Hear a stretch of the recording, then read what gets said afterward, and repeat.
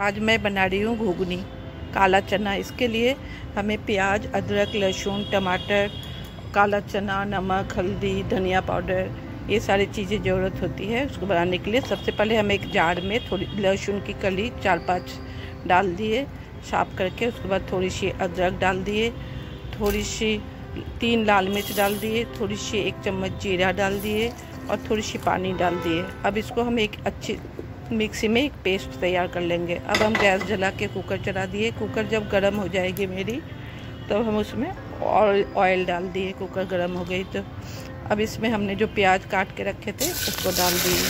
अब हम प्याज को भूनेंगे अच्छी तरह से।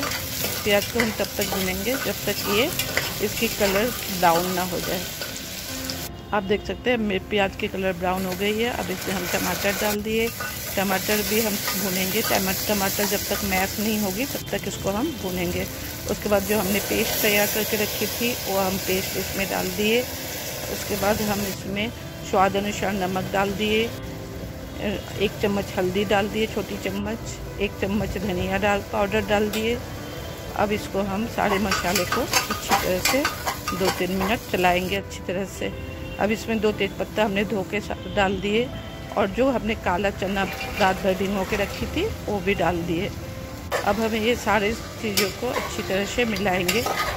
इसको हम कुकर की लीड को लगाएँगे नहीं, सिर्फ़ ढक ढक के ऊपर से ही थोड़ी दो दो मिनट बाद ढक्कन हटा हटा के अच्छी तरह से इसको चलाएँगे। इसको हम तब तक भुनेंगे जब तक इसमें से ऑयल सेपरेट ना हो। आप देख सकते हैं मेरी ऑयल अब सेपरेट हो रही है इसमें। अब इसमें ये मेरी चना काल भुनी हुई हो गई है। अब इसमें हम लहसुन डाल रहे हैं। दो, लहसुन मेरी बड़ी थी, इसलिए हम हाफ़ हाफ़ पीस कर दिए हैं। दो लहसुन को धो के साफ़ करके इसमें डाल दिए। साबुत ऐसे ऊपर से हम पानी डाल दिए इसमें तरी के लिए।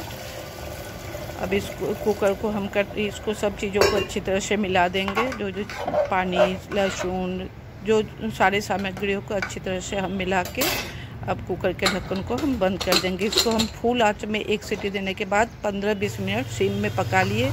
आप देख सकते हैं, मेरी घुगनी तैयार हो गई है। आप भी इस प्रकार बनाएँ, खाएँ और मेरी रेसिपी यदि आपको अच्छी लगे तो प्लीज़ लाइक सब्सक्राइब और कमेंट करें। बताएँ कमेंट करके आपको मेरी रेसिपी कैसी लगी। घुगनी बहुत टेस्टी बनती है। इसको आप किसी के भी साथ खा सकते हैं। ये नाश्ते में एक हेल्दी नाश्ता होता है। इसको आप मुड़मुड़े के साथ, रोटी के साथ, चावल के साथ, किसी के भी साथ खा सकते हैं।